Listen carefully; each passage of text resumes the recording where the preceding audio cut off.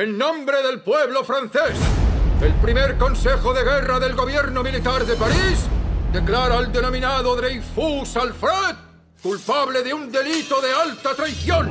El castigo a Dreyfus muestra al mundo lo que hacemos con los traidores.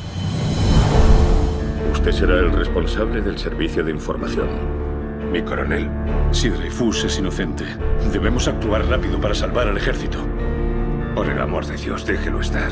Ellos mandan, nosotros seguimos órdenes. No quiero otro caso Dreyfus. No es otro caso Dreyfus, mi general. Es el mismo. ¿Dónde está el expediente secreto de Dreyfus? Me encargaré personalmente. Interceptan mi correo. Me siguen. ¿Puedes probarlo? Quiero evitar un escándalo. Ya es un escándalo.